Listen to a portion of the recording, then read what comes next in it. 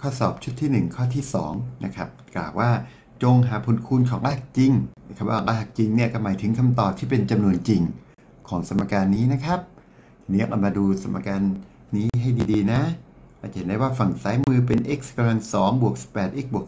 30 มาดูฝั่งขวามือครับ ในเครื่องหมาย square root ก็หน้าตาคล้ายๆกันเป็น x กำลัง2บวก8 x บวก45นะครับก็ต่างกันแค่บวก 30 ตรงนี้บวก 45ห รือจะพูดอีกแบบหนึ่งก็คือตัวที่อยู่ในเครื่องหมาย square root เนี่ยมันมากกว่าฝั่งซ้ายมือของเครื่องหมายเท่ากับอยู่15 นะครับ ทีนี้ในโจทย์ในสมการเนี่ยมันมีเครื่องหมาย square root อยู่ด้วย นั่นแสดงว่าในกระบวนการแก้มันต้องมีการยกกำลังสองทั้งสองข้างด้วยแน่ ๆ นะครับ แต่ถ้าจะยกทันทีนะฮะ เนี่ยถ้าจะยกทันที ฝั่งซ้ายเดิมมันก็ดีกรี 2 อยู่แล้วไปยกกำลังสองอีกทีก็กลายเป็นผู้นามดีกรี 4 มันก็โหเยอะ ไปไหนนะแบบนี้แก้ยากมาก เพราะฉะนั้นเราจะใช้วิธีการเปลี่ยนตัวแปรครับ ก็จะให้ y เท่ากับ x ยกกำลัง2บวก 18x บวก 30 นะครับ พอกำหนดให้ y เป็นตัวทางซ้ายมือนะกำหนด y แบบนี้นะครับ ตัวที่อยู่ในเครื่องหมาย square root เนี่ยมันก็คือ y บวก 15 นั่นเองครับ เพราะฉะนั้นสมการที่โจทย์ให้มาก็จะกลายเป็นแบบนี้ครับ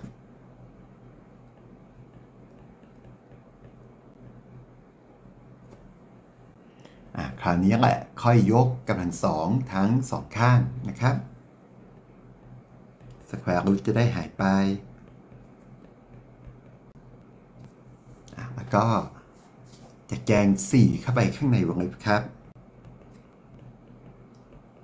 ย้ายข้างให้ข้างขวามือเป็นศูนย์นะครับ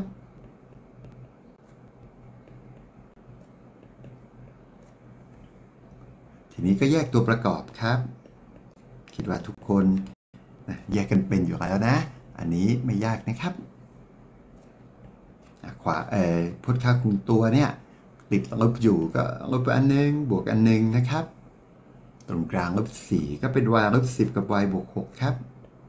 ก็ได้ y มา 2 ค่ะ ทุกครั้งที่เราคำนวณ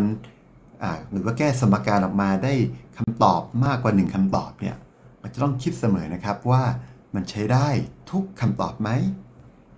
มีคำตอบในใช้ได้คำตอบในใช้ไม่ได้ มันต้องมีการตรวจสอบนะครับ ให้ดีดีที่สุดเลยนะ ไปตรวจสอบจากสมการที่โจทย์กำหนดให้นะครับ แต่ว่าสมการที่โจทย์กำหนดให้นี่มันติดตัวแปร x นะครับ แต่ตรงเนี้ยมันเป็นตัวแปร y เพราะฉะนั้นมันก็มองหาสมการที่มันติดตัวแปร y อยากให้ดูตรงนี้นะครับ อยากให้ดูบรรทัดนี้ y เนี่ยมันเท่ากับ 2 2 นี่เป็นบวกนะครับ คูณกับ square root y บวก 15 y บวก 15 ยังไงก็ต้องมีค่ามากกว่าหรือเท่ากับ 0 ครับ เพราะว่าอยู่ในเครื่องหมาย square root นะครับ แน่นอนครับ square root y บวก 15 ก็ต้องมีค่ามากกว่าหรือเท่ากับ 0 ด้วยนะครับ ตัวนี้บวกครับ ตัวนี้มากกว่าหรือเท่ากับ 0 คูณกันก็ต้องมีค่ามากกว่าหรือเท่ากับ 0 นั่นก็แสดงว่า y เนี่ยมีค่ามากกว่าหรือเท่ากับ 0 ดังนั้น ไปไม่ได้ครับ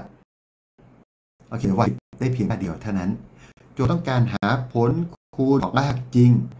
รากจริงก็คือคำตอบคำตอบก็คือค่าของตัวแปร ตัวแปรที่อยู่ในโจทย์คือตัวแปร x ครับไม่ใช่ตัวแปร y นะครับยังมีงานต้องทำต่อนั่นก็คือต้องไปหาค่า x ให้ได้นะครับเราจะหาค่า x ได้ยังไง ก็เนื่องจาก y เนี่ยเราเป็นคนกำหนดเราเป็นคนสร้างขึ้นมานะ แล้วก็แทนเข้าไปครับ กลับไปเพื่อให้มันเกิดตัวแปร y เอ้ยเพื่อเพื่อเปลี่ยนจากตัวแปร y กลับมาเป็นตัวแปร x ครับ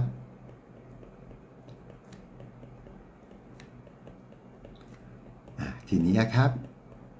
แล้วก็ย้ายข้างให้ข้างขวามือเป็นศูนย์นะครับ ใครจะใช้สูตรแก้สมการหาค่า x ได้ค่า x มา 2 ค่าเอามาคูณกัน แล้วก็ตอบก็ได้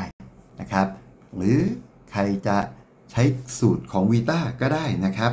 ทบทวนนิดนึง บางคนอาจจะจำได้ บางคนอาจจะจำไม่ได้นะครับ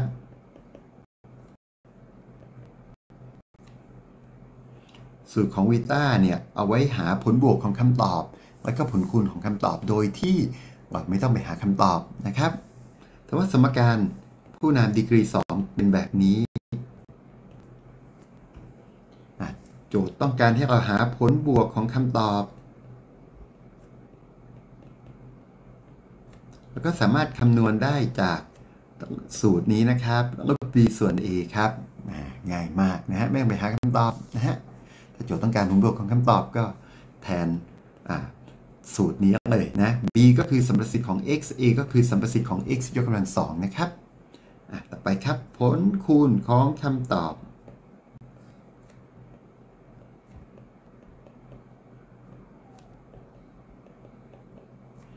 ก็จะได้ c ส่วน a ครับ